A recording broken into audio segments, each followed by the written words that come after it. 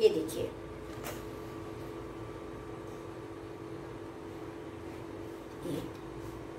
मेरा जलेबी। क्रिस्पी जलेबी, बहुत ही क्रिस्पी है रस भरी है।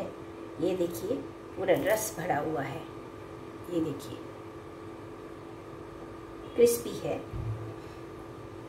ओके, ये जलेबी इस तरह से बनाया जाएगा।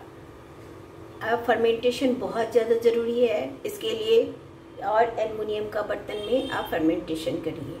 बस, तभी आपको सब सेटिस्फेक्शन हो जाएगा। ओके बाय बाय अगले रेसिपी पे फिर मिलूँगी।